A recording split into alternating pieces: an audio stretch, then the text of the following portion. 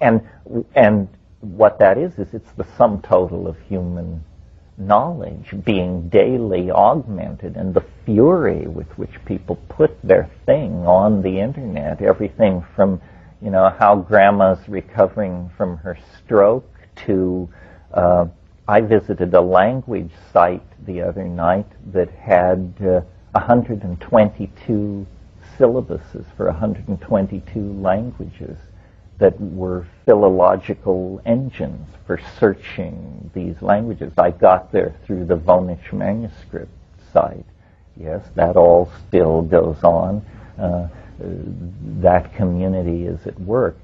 So apparently we will not rest until all space and all time is brought down into, for all practical purposes, a single point. And this is an idea that has been around in various forms since at least the 16th century. I mean, it's the alchemical idea of the philosopher's stone, a universal panacea, a medicine which makes you wise, immortal, all-seeing, all-knowing, all good, uh, but interestingly conceived as an artifact of technology conceived as something brought into being through the effort of a, a technological worker in concert, in resonance uh, with the intention of nature, which is to do the same thing. The human world is simply a catalyst for nature's intentions. We are speeding up nature's program of dimensional transcendence. Uh, Nina. It is what it, it, it is that, and it is in a sense the Jungian unconscious, but no longer unconscious.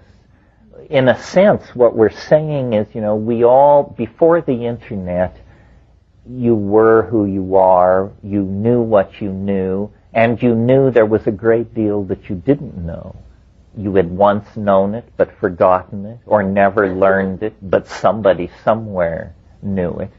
Uh, and because we had this vast, dark companion, the unconscious, bad things keep jumping out of it.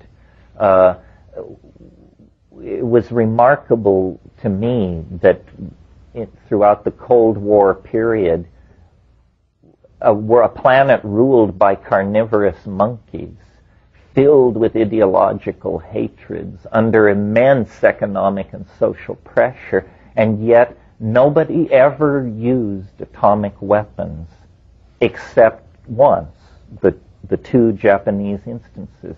And in a sense, they don't count because they didn't know what it was.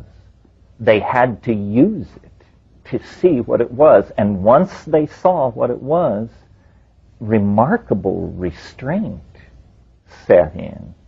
Uh, I would never have guessed that we would have been capable. I mean, remember how deep the fear of the Soviet Union was. Remember that for 35 years, a thermonuclear strike was a possibility within a half an hour of any undue movement on the other side.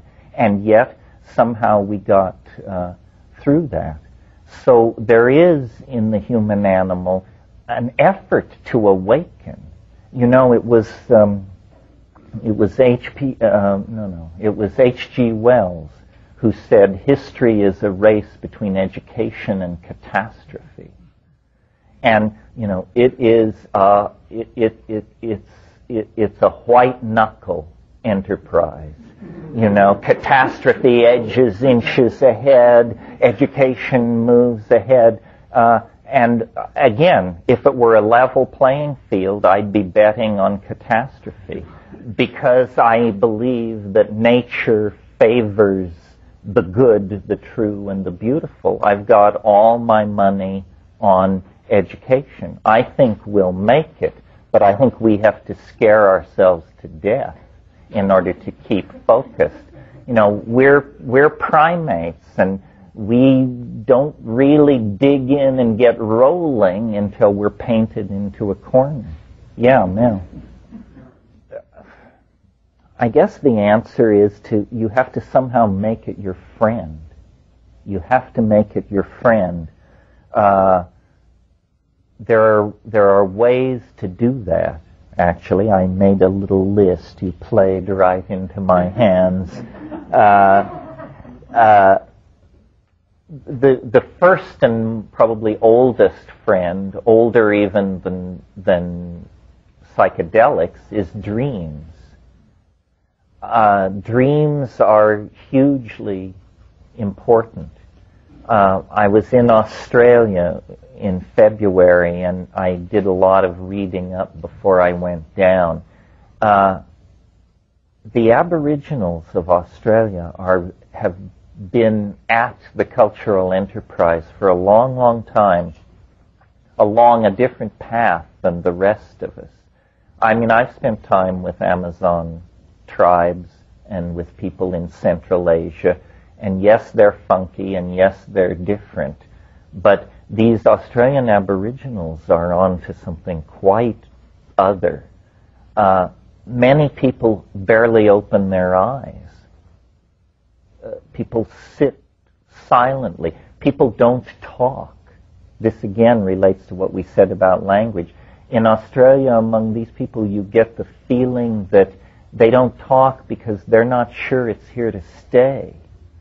If, if an Aboriginal wants to communicate something to you, they would far rather walk with you a half mile into the bush and point at it than to simply describe it back at camp.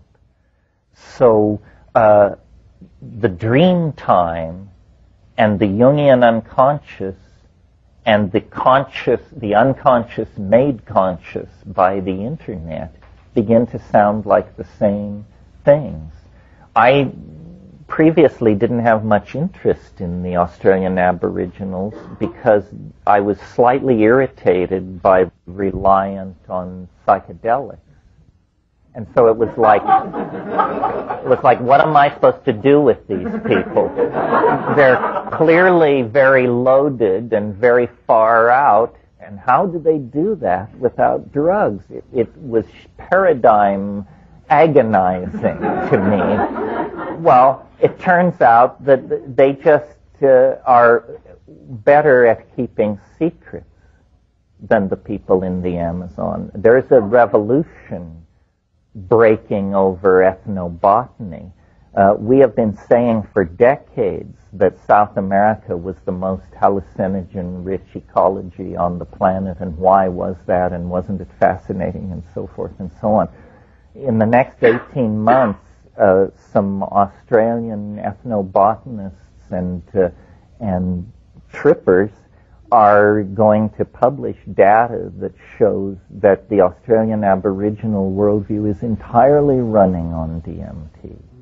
These acacias, this gum tree ecology that stretches from Queensland uh, down to the south coast, uh, is replete with DMT. It's simply that the Aboriginal culture is even more secretive than other culture, other Aboriginal cultures in other parts of the world. And only very, very slowly is this information uh, uh, being let out. So dreams are one of the great friends of the imagination.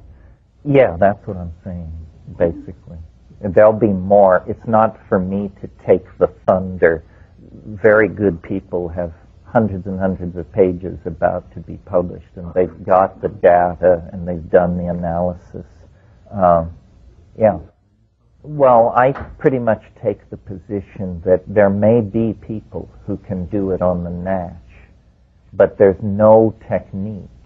It's something you have to be born to, and there's no culture that can do it. I think throughout the human population, there may be one person in a hundred who has a, a futuristic set of synapses. Because I, I occasionally, in a group like this, somebody will come up to me and say, well, I've never taken a psychedelic drug, but I know exactly what you're talking about, and I see visions and so forth and so on. I used to just think that these people were nutcases.